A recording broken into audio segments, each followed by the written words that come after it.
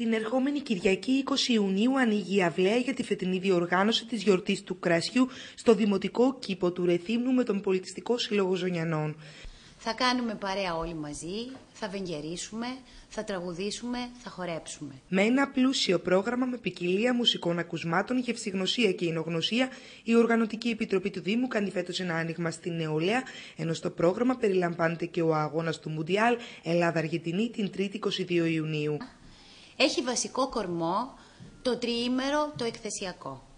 Τετάρτη 23, Πέμπτη 24, Παρασκευή 25 Ιουνίου θα υπάρχει πλήρης έκθεση γευσηγνωσίας, εινογνωσίας, εμπλουτισμένη με πολυδραστικές εκδηλώσεις. Στα κύριο λόγο γυμνάσια ε, θα δώσουν τη συναυλία τους την Τρίτη ε, πριν από το ποδόσφαιρο και την Παρασκευή ε, θα έχουμε από το ΤΕΗ Μουσικής και Ακουστικής Τεχνολογίας ε, θα έχουμε ένα συγκρότημα με ethnic μουσική που είναι από φοιτητές ε, του, του ΤΕΗ. Στις 20 μέχρι και τις 27 Ιουνίου ο Δημοτικός Κήπος θα φιλοξενήσει πληθώρα εκδηλώσεων που απευθύνονται τόσο στα μικρά παιδιά με παιδικό πρόγραμμα και εισιτήριο 2 ευρώ, μουσικά προγράμματα με ροκ, jazz, ρεμπέτικα και φυσικά κρατική μουσική. Ε, μια φιλόδοξη εντός εισαγωγικών προσπάθεια για την, ε, για την παρουσίαση του κρασιού, φιλόδοξη για το κρασί, για, την,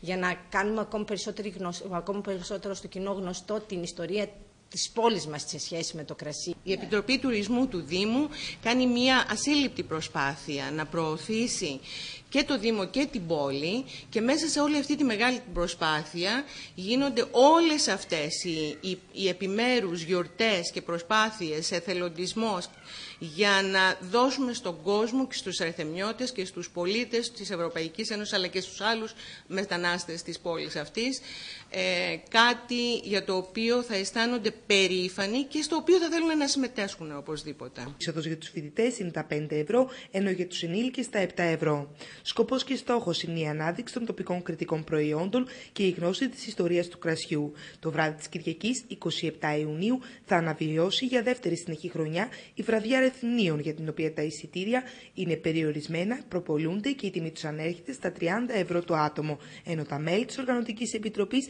ενοχλημένα από τους χαρακτηρισμούς που έχουν ακουστεί από την περσινή χρονιά περί βραδιάς για ολίγους, απαντούν. Δεν ήταν καθόλου η αφροκρέμα της ε, πόλης πέρσι, μα καθόλου η αφροκρέμα της πόλης.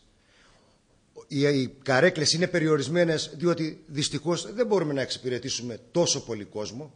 Αντιλαμβάνεστε, ο δημοτικός κήπος, ο δημοτικός κήπος είναι ένας χώρος ε, πεπερασμένος.